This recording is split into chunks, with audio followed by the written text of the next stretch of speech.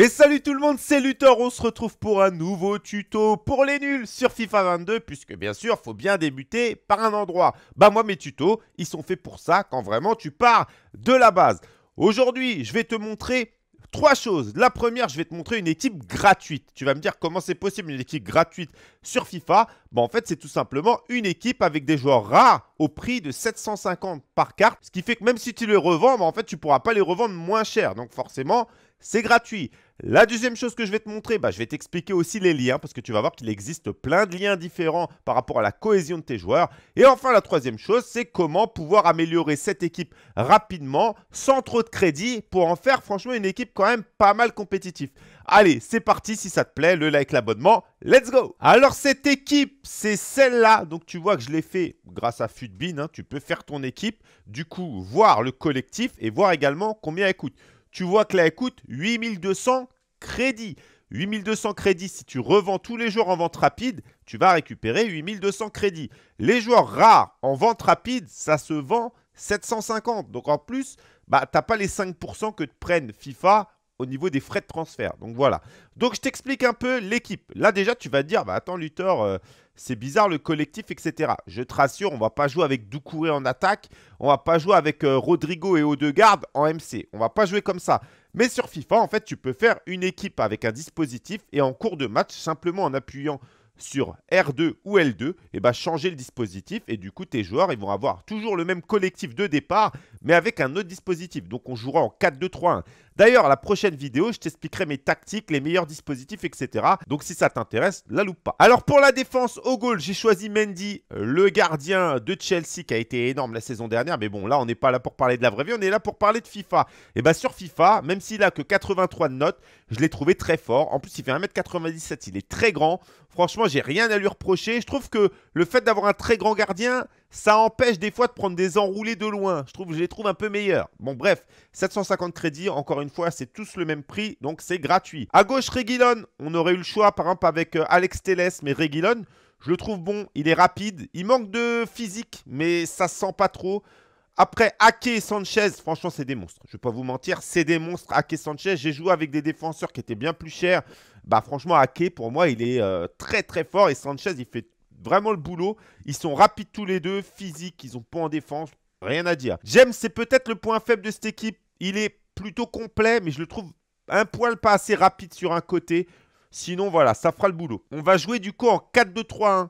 Donc, avec euh, deux milieux défensifs. Donc, ce sera Ndombele et Doucouré, qui sont un petit peu les mêmes profils, hein. c'est-à-dire des joueurs complets, qui sont plutôt assez rapides, qui sont plutôt bons en passe, qui sont quand même solides défensivement. Voilà, même si Doucouré est meilleur défensivement et euh, Dembélé, meilleur en dribble et en passe. Mais franchement, c'est bien complémentaire pour le prix, ça fait le taf. Au milieu offensif, on jouera avec Odegaard, le joueur d'Arsenal, le milieu offensif donc, euh, qui est pas mal, qui a quand même euh, pas mal de passes. Il manque un petit peu de tir, c'est dommage, c'est son point faible. Mais sinon, c'est quand même plutôt propre. À gauche, Diaby, qui est énorme. Voilà, très fort, ça va vite. Euh, c'est plutôt bon en dribble, c'est très bon en dribble. Ça manque quand même de tir et ça, c'est son point faible. Mais bon, avec ce prix-là, on ne peut pas avoir des joueurs énormes. À droite, on va jouer avec Pépé, le joueur d'Arsenal. Donc lui, bah, il est gaucher, il est meilleur en tir. Donc quand tu rentres sur son pied gauche, tu peux enrouler facilement, tu vas marquer des buts. Et en pointe, Rodrigo, ça va vite, c'est plutôt bon en tir, ça manque quand même de finition. Mais ça, pour une première équipe, franchement, c'est plutôt costaud. Je vais t'expliquer maintenant les liens. Alors, il y a plusieurs liens. Il y a le lien rouge. Donc, le lien rouge, c'est quand bah, il n'y a aucun lien entre les deux, c'est-à-dire pas le même pays, pas le même championnat. Là, bah, du coup, tu vois que ça leur fait baisser leur collectif à 6 c'est sur 10. 10 étant le maximum. Pour moi, c'est 9 ou 10. Certains vont dire de 7 à 8, ça passe. Moi, j'aime pas.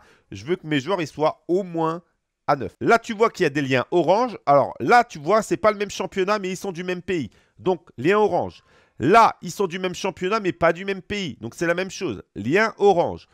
Par contre, quand tu as des joueurs qui sont soit de la même équipe et du même championnat, c'est le vert.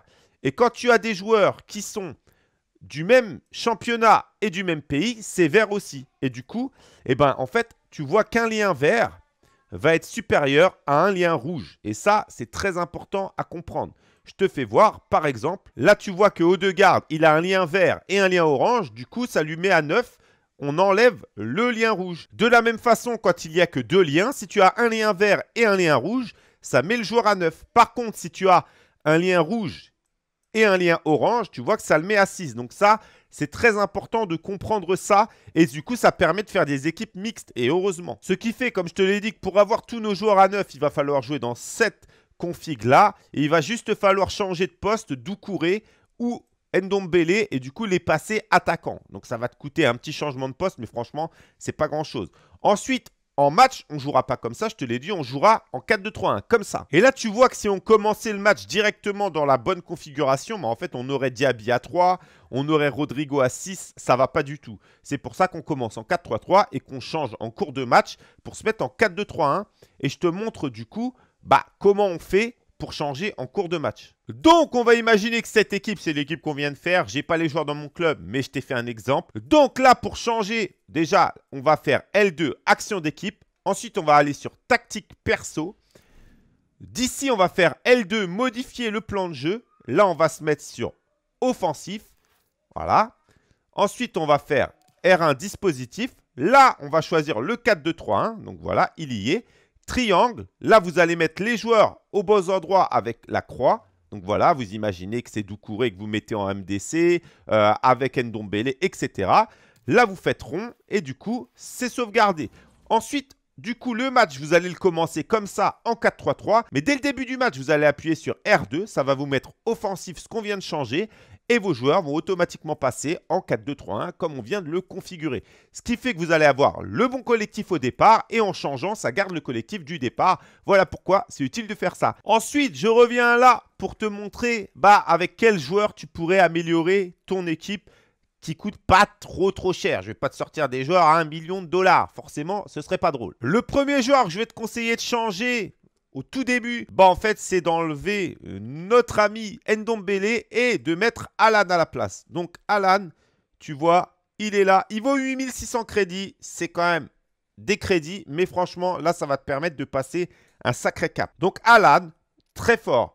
Ensuite, le deuxième, ça va être au niveau de ta pointe. Voilà, au niveau de ta pointe, là vraiment, il va falloir que tu changes quelque chose. Donc pourquoi pas prendre Martial qui, moi, je le trouve vraiment énorme. Martial, en plus, ça vaut 3000 crédits. C'est franchement pas très cher et il est exceptionnel. Ensuite, un joueur qu'on pourrait changer assez rapidement, c'est quand même Odegaard. Odegaard, c'est pas fou, sa carte est pas incroyable.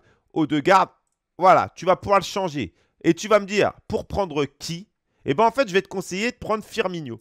Firmino, bien sûr, à la base, il est attaquant, mais en fait, tu le mets en MO. Tu vois qu'il a des stats quand même de MO. Et là, ça va te faire franchement un MO très, très, très bon. Le joueur suivant qui pourrait être intéressant de changer, c'est Pépé. Soit tu prends Sancho, soit tu prends Marez. Moi, je préfère Marez. Pourquoi, encore une fois? Bah Parce qu'il est gaucher. Il va rentrer sur son pied gauche, il va pouvoir enrouler et il va te mettre des beaux buts. Enfin, Diaby, on va pouvoir prendre Saint-Maximin. Saint-Maximin, c'est costaud, ça vaut pas super cher, mais c'est très fort. Derrière, Ake Sanchez, Mendy, je te conseille de les garder assez longtemps parce que vraiment, ils sont très forts. Après, tu pourras bien sûr step up, mais pour l'instant, il n'y a pas trop d'intérêt à prendre mieux. Au niveau de James, bien sûr, au niveau de James, on peut le changer. Et là, je te conseille de prendre One Bissaka. C'est 13 000 crédits, c'est peut-être un peu cher mais c'est fort. Reguilon, il n'y a pas vraiment meilleur de son côté. Après, c'est vraiment très cher. Tu vas avoir Robertson, mais Robertson, c'est 25 000 crédits. Donc, tu vois que c'est quand même plus cher. Là, tu as franchement une bonne équipe. Une très bonne équipe pour les débuts de FIFA. Franchement, tu vas pouvoir facilement atteindre la Div 5 avec une équipe comme ça. Cette équipe-là, tu vois qu'elle vaut 52 000 crédits. 52 000 crédits, tu vas les avoir quand même relativement rapidement. Et d'ailleurs, là, tu vois que bah, tu n'es même pas obligé de changer. Tu peux directement te mettre en 4-2-3-1. Et si tu veux avoir un autre dispositif, tu peux tout à fait jouer en 4-2-2-2. Et du coup, en restant comme ça, juste Firmino, bah en fait, tu vas le monter en AC à côté de Martial. Donc, tu auras tes deux attaquants, Martial Firmino, Saint-Maximin, Marez, et derrière, Alan Doucouré. Et là, franchement, tu as une équipe qui est plutôt solide. Voilà, les amis, c'était Luthor. J'espère que ça vous a plu. Je vous fais des bisous. Ciao, les mecs.